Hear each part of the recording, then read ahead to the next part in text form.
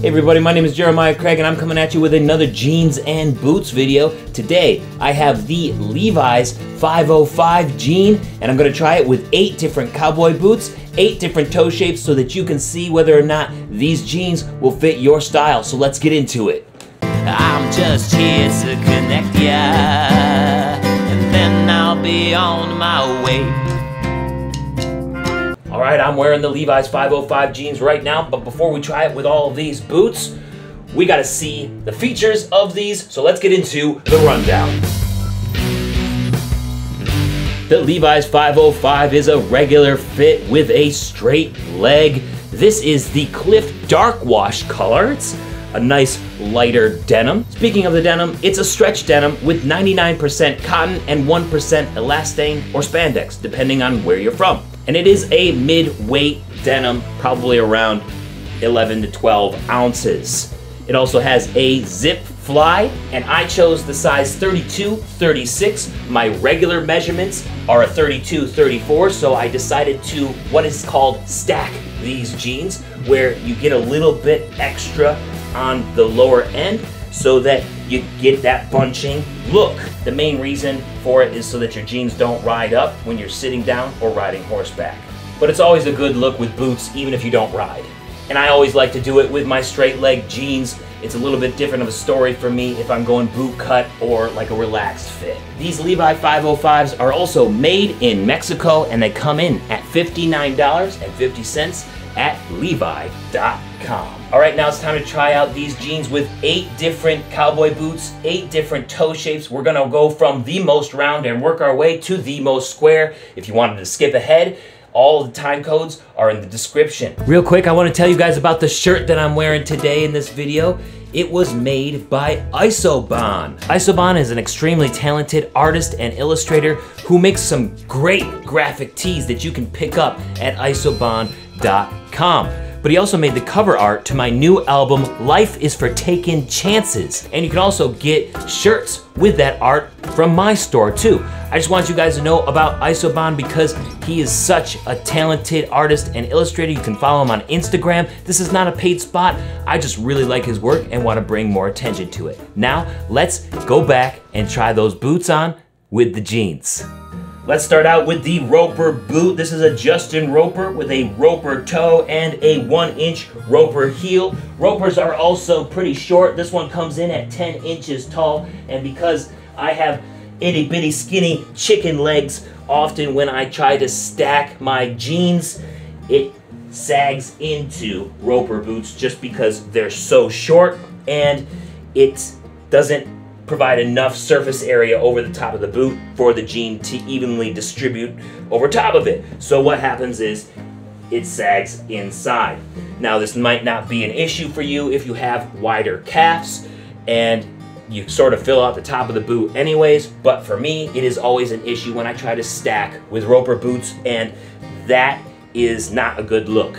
I don't like the stacking and the sagging into roper boots uh, I guess you could also roll up the cuffs a little bit if you wanted to, if that was your way of doing things, to sort of do this or just buy a shorter length.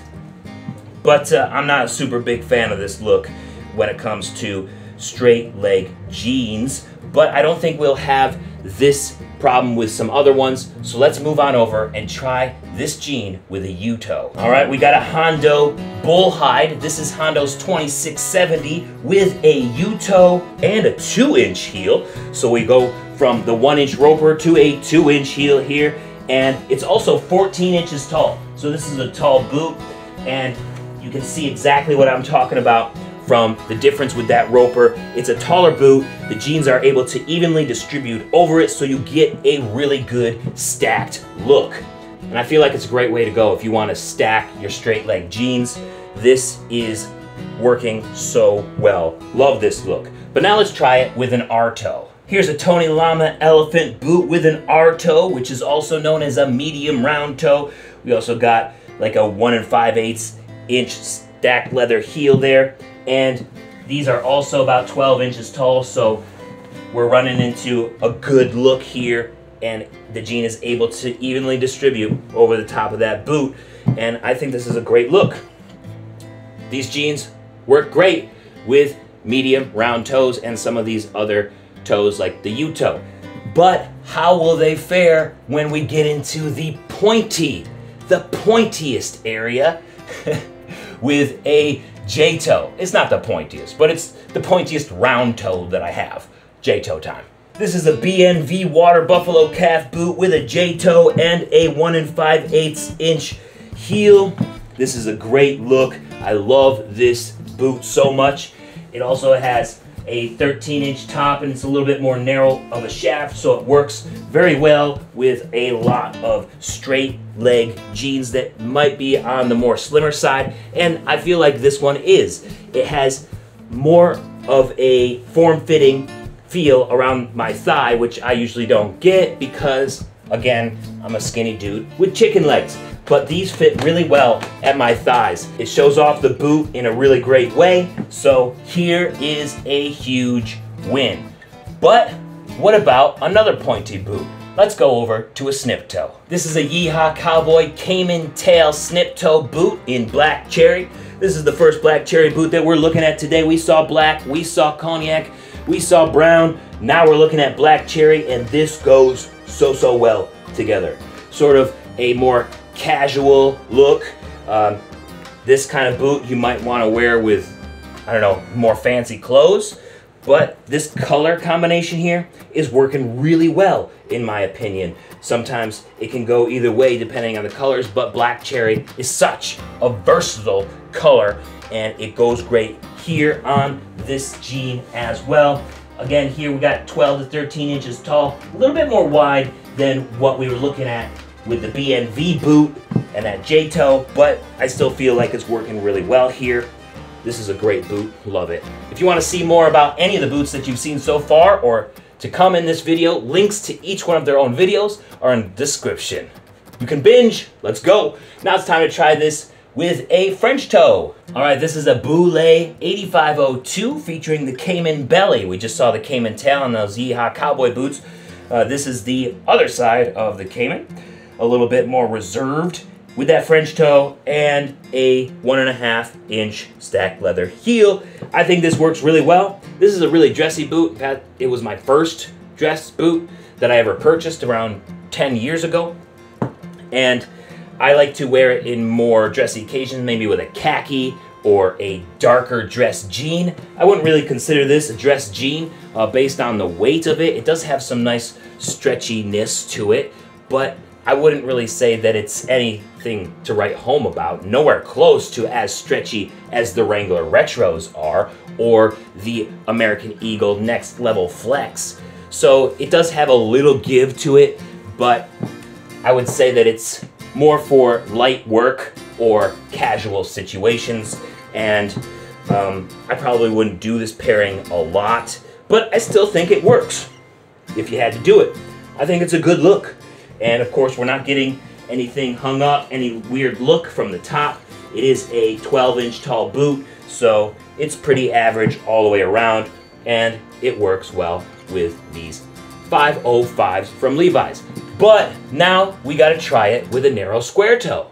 Let's go. These are Black Jack rattlesnake boots with a narrow square toe, or what Black Jack calls a V toe, and a 1 and 5 eighths inch heel. I like rattlesnake boots and I like this look a lot. It's working really well. You got about a 12 inch tall boot here. Look at that. Love these boots. Um, I feel like this works okay. It's a summer look for sure. I like to go with a darker jean with the rattlesnakes. I just think it looks a lot better overall, but this isn't a complete loss. I mean, they're rattlesnake boots and these jeans go really well with them at the same time. So um, I'm all for this look. I think it looks great. I just would prefer it, I think a slightly, slightly bit more if these were a darker blue jean. But let me know what you guys think. Now, let's try it with a double stitched well, wide square toe. All right, here we have a JW Boot Company bullhide boot with a wide square toe and a double stitched welt. It's not a super wide square. They definitely get a lot wider than what this is, but it's a good example of what this jean looks like with a wide square toe. And I feel like it might be just a little bit too slim. It kind of works. Um, but there's just a lot of boot on a wide square toe. Uh, and sometimes you want a more relaxed fit, in my opinion, or something that is a little bit more baggy down there, at least for my skinny frame, because oftentimes on wide square toes, if I'm wearing a slimmer or straight leg jean, that toe shape just looks wider than what my legs are, and it just looks goofy. So relaxed or something a little bit more wide at the bottom that sort of comes down to that heel a little bit more. The opening of these jeans quite aren't wide enough to come down towards that heel. And that's kind of where I like to have my jeans rest on a wide square toe. Um, so I'm sort of middle of the road on this one. Definitely not my favorite. Could be better. Could cut this a little bit, but I don't really like to do that because then you're just adding a weak point in your jeans and they'll just end up lasting uh, much less of a time in my opinion. So, not a not a huge fan of this look, but I like the color combination. And if you guys are watching this video within the first week or so of it being posted, I am doing a giveaway for a brand new pair of JW Boot Company boots. You can check out that up here or at the links in the description. And if you're too late, then definitely subscribe because I do giveaways all the time and it's a lot of fun. You won't want to miss it, so definitely subscribe. Thank you so much for watching today. Let me know what your favorite combination was with these jeans and boots and what you think of the Levi's 505. You guys are the best. Peace. Levi's